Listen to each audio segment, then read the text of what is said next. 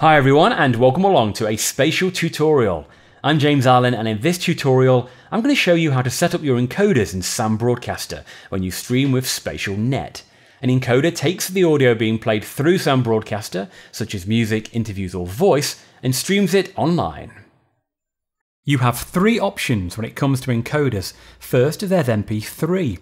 MP3 is compatible with most media players, sound devices and web browsers, but the sound quality isn't as good as say AAC. Then there's Windows Media. Any PC running Windows XP or higher already comes with a Windows Media Player, and because it's a Microsoft program, it's compatible with Silverlight for playback on the web. But if some of your listeners are on a Mac, they may have a hard time downloading the player and listening to your stream. That's why the reach on this graph is a bit limited compared to MP3. And finally, there's AAC. AAC has the best sound quality even if you're using a lower bit rate. It's also compatible with all sorts of web players, like those based on Flash and Silverlight. Plus, it's supported by mobile devices, which means your listeners can tune in from a smartphone. That's why AAC is becoming a standard format in streaming. To set up your encoders, the first thing you need to do is create a SpacialNet streaming account by going here to spacialnet.com. Then click on the login button and choose new member. When you stream with SpacialNet, you're looking at one of the most stable platforms out there. It's great for radio stations of all sizes and it was designed to work seamlessly with SAM software.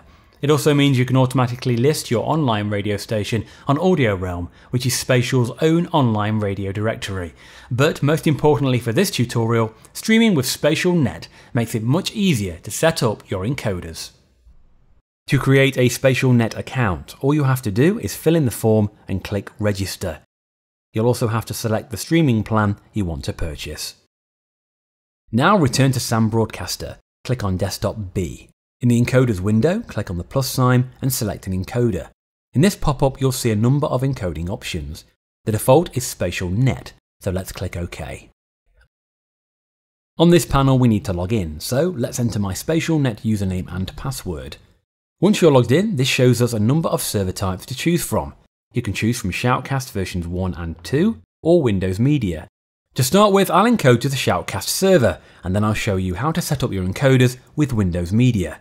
For now, select Shoutcast V2 and click on Next. This opens up the encoder window where there are two options, AAC and MP3. Let's start with AAC. It's the default selection, so from this window I can configure most of my initial settings. First, let's choose a codec, which I'll set to AAC Plus V2. Then we'll change the quality to high quality, I'll leave the sample rate as is, and set the bit rate to 64 kilobits per second because with AAC it still sounds good. For my channel mode I'm going to select stereo because my bit rate is higher than 48 kilobits per second and because it'll give me the best stereo compression. Then on top I'm going to check auto start encoder after and leave it at 5 seconds. And then I'm also going to leave auto reconnect encoder after checked. Now let's go back and do this for the MP3 options. If I go back to the second tab here, I just have to select MP3 and the window changes. Since I'm already up here, I'll click Auto Start Encoder after and leave Auto Reconnect Encoder checked. Then below, I'll set my bitrate to 64 kilobits per second, my mode to joint stereo, because it'll give me the best stereo compression, and leave my sampling rate at auto. Now let's click on the Station Details tab and fill in the blanks about the station. Leave Enable Title Streaming checked, so your station will stream song information, and also leave list station on shoutcast.com checked so that your station will end up in the Shoutcast directory. Now we can move over to the Archive tab and check Save Stream to File, which means your stream will be saved as an audio file on your hard drive. Make sure it's going to save the file in the location you want. I'm going to point this to a folder on my C drive called Radio Recordings so it's easy to find. I'm also going to leave the default setting of new file for each session so that whenever I broadcast a new audio file will be created in my recordings folder. Now let's click OK, and you'll see that the MP3 encoder has been added to the encoder window. With Sam Broadcaster, you can encode in various audio formats. So, if you want to add an AAC encoder, just click on the plus sign and follow the same steps we just went through. Now let's set up a Windows Media encoder. In the encoders window, click on the plus sign again Let's click OK to accept the default of Spacial Net Encoder. Now select Windows Media and click Next.